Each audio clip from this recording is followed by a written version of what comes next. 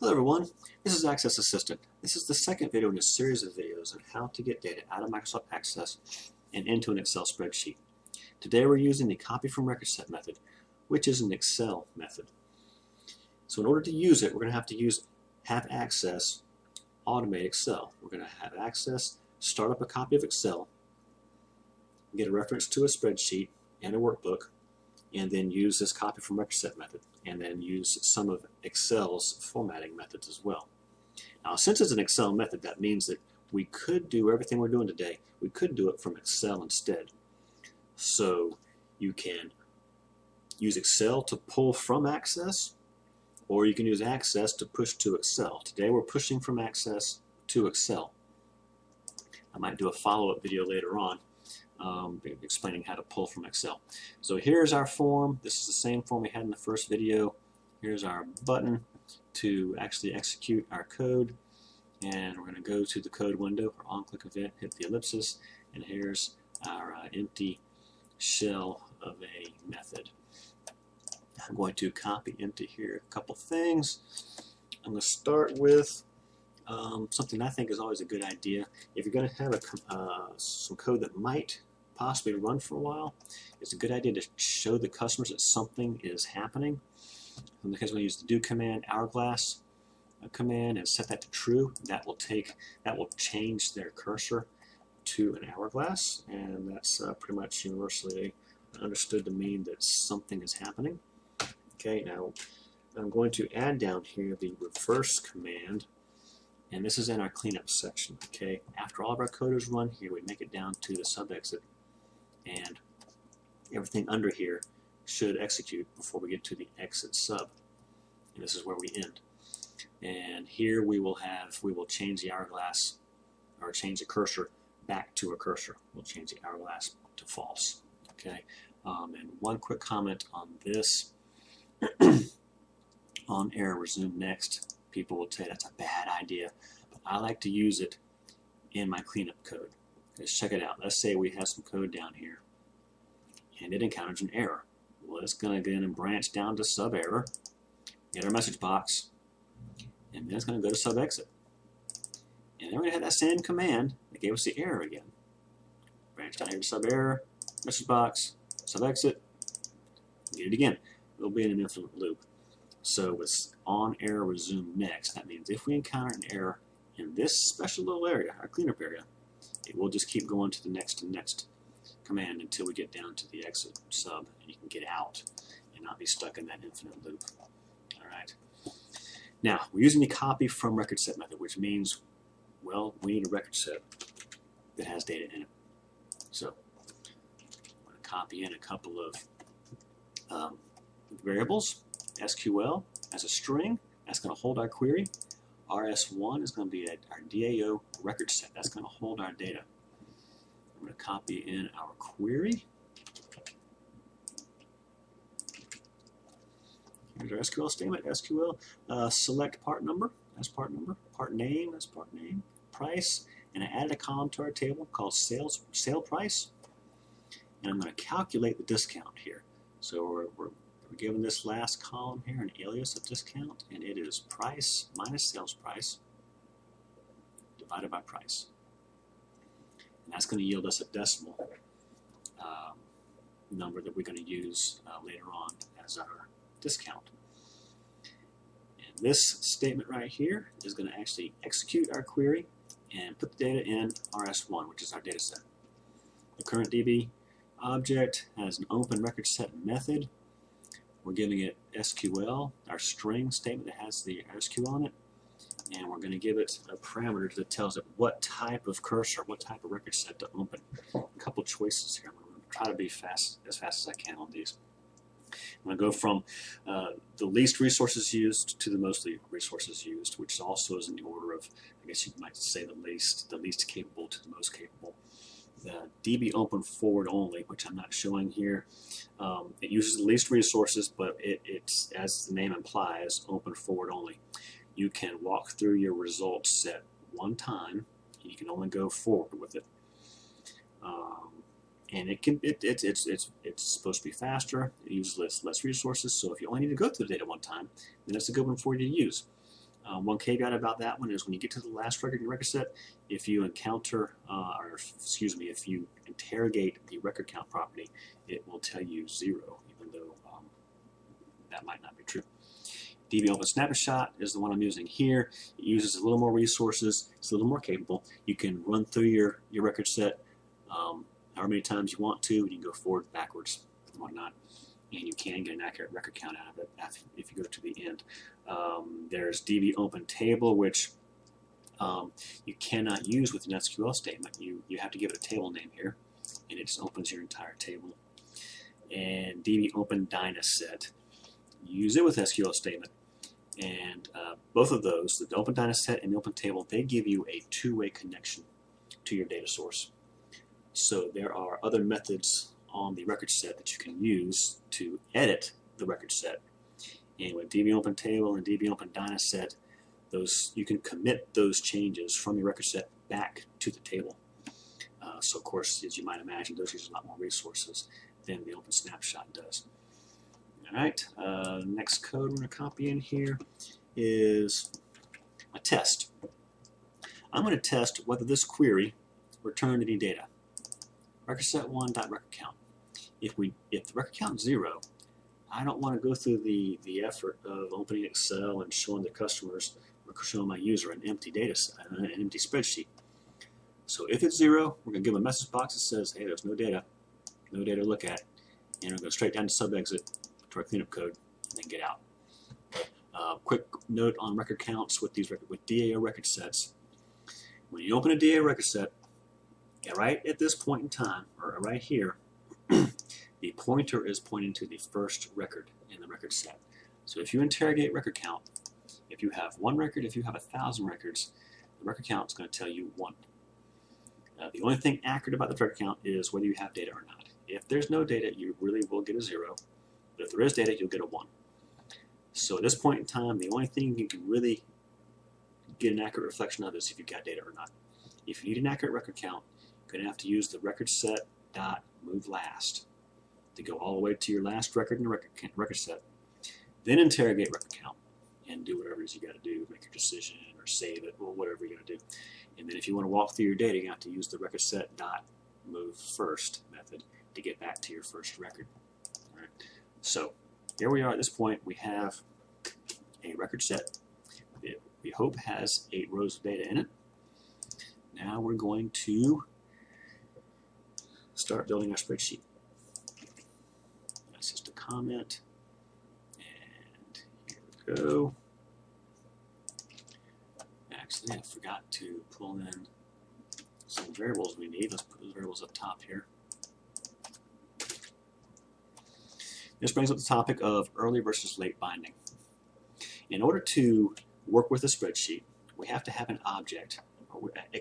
Access has to have a way to point to um, the, the, spreadsheet, the, the Excel application and the spreadsheet and the workbook.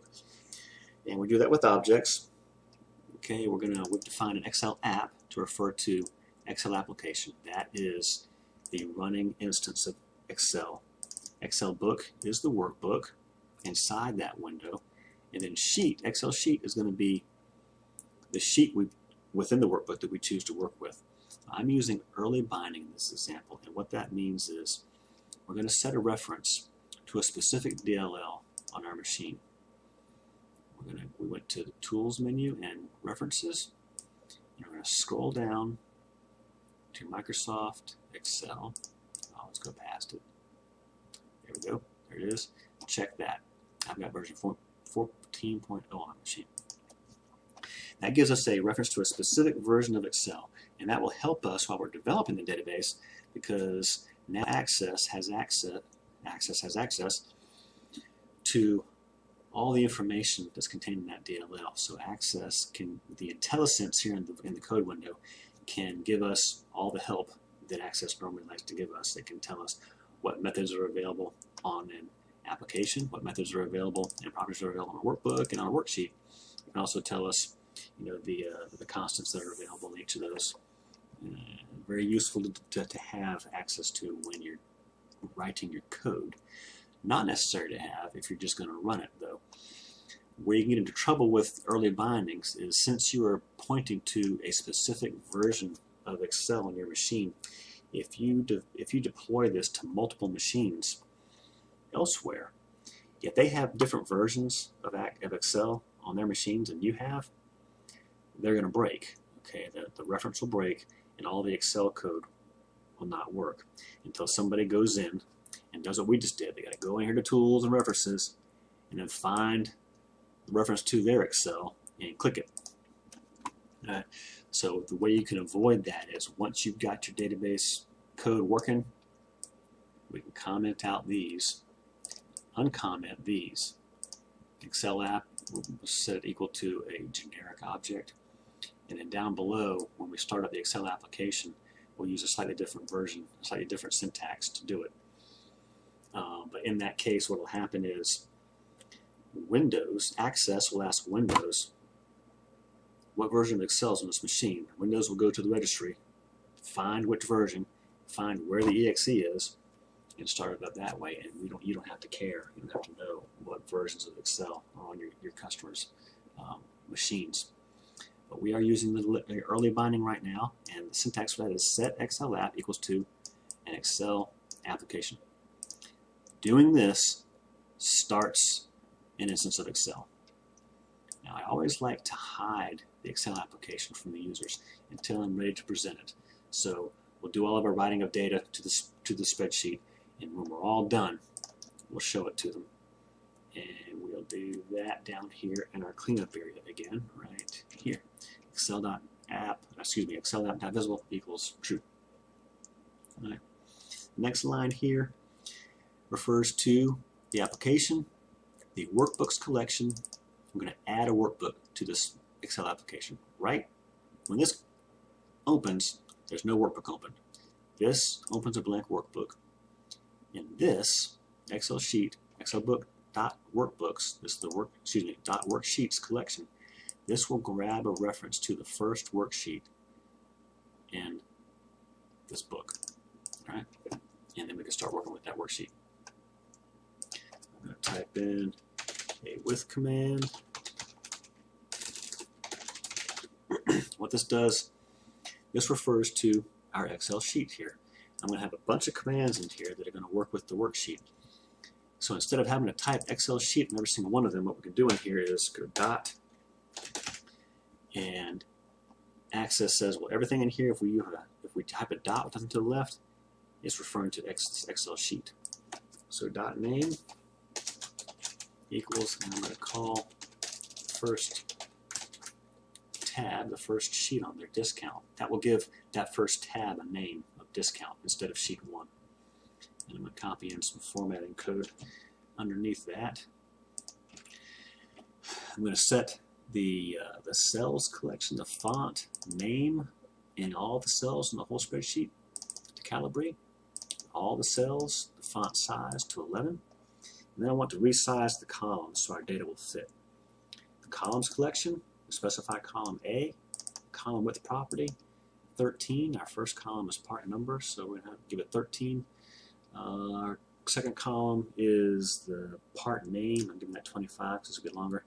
And the next three are price, sale price, and discount. Give each of those 10. That's plenty of space for those to fit. And since those last three are numbers, we wanted to format them as numbers. Column C, the number format, give it this string. I'm giving it this string. The way this works is everything to the left of that semicolon is what to do with a positive number. And everything to the right is what to do with a negative number. So for positive numbers, I want to sh always show a number to the left of the decimal, and I always want to show two numbers to the right. These pound signs tell it to, uh, if there's a number there, display the number. If not, display blanks. Is my thousand separator, and that's our currency symbol. Everything's the same for the negative, except I've got a negative number on there. And the last column was our discount column. So remember our calculation in the, in the SQL was going to yield us a decimal and I want to convert that to a, to a uh, percentage in the spreadsheet. So again, I've got our dummy numbers up here. I'm always going to show one to the left and one to the right. And if there's more than one to the right, I'm going to show it as well. And then the percent sign here, we'll format that as a percent. So that will take our, our decimal and turn it into percent. So a, a 0.10 that's yielded from our calculation will turn into a 10 with a percent sign beside it. And the next thing we're going to do is actually move the data from our record set into the spreadsheet. We do that with the range, the range um, property of the Excel sheet. And this is going to tell us tell it to start at A2. Okay, so uh, first column A, second row of the spreadsheet, copy from record set method, copy what into there?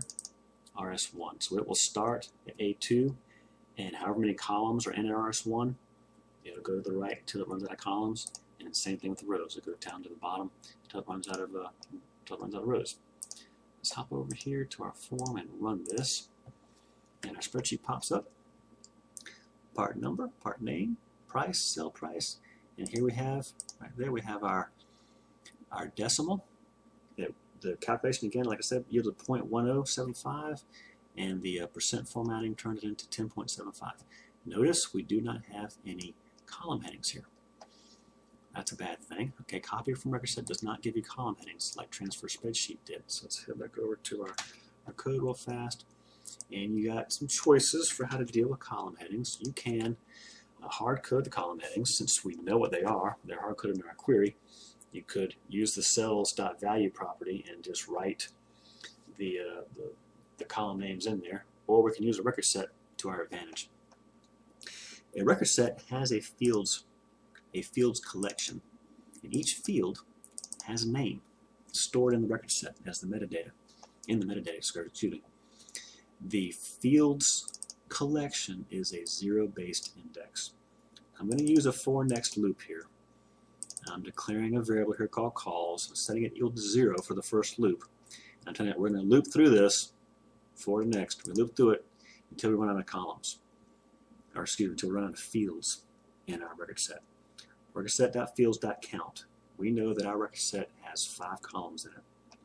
It's a zero-based index, which means the last field will actually be field 4.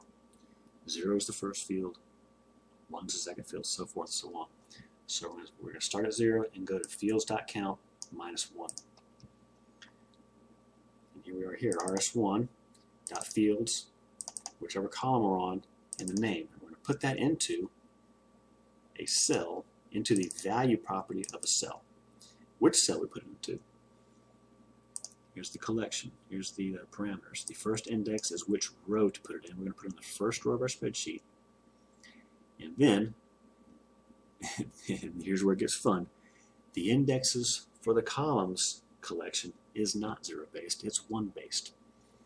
So when we're working with field 0 in a record set, we need to be working with field 1, or excuse me, we need to be working with column 1 in our spreadsheet. So we'll take columns and add one to it each time. And that will give us column headings. Run it again. And there we go. We got column headings. And that's it.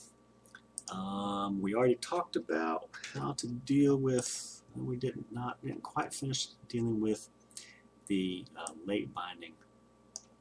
Okay, so I'm not going to run it, but I'll just show you the syntax very quickly up here. Um, this is the early binding syntax. If you wanted to use late binding, you'll go up to the top and comment out these, uncomment the generic objects. You can remove your DLL reference under tools.references and instead of setting Excel app to an Excel application, you would set it equal to a create object. Set Excel app equal to create object and we feed it this string. And access will ask, ask Windows, go to the registry, find me this application, find where its exe lives, and start it up. And everything from there works the same. So I hope you found this video informative. I hope you come back for the next one where we'll talk about uh, running through a spread, a uh, work, excuse me, running through a record set like we just did, except writing uh, the values from the work from the record set into individual cells of the spreadsheet. Thank you very much, and I'll see you next time.